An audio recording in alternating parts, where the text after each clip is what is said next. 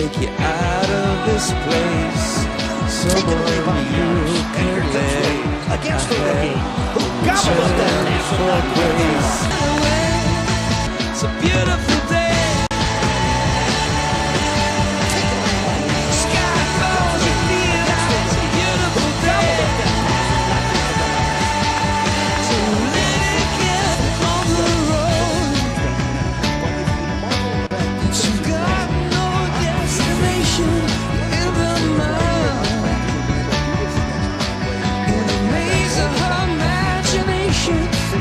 do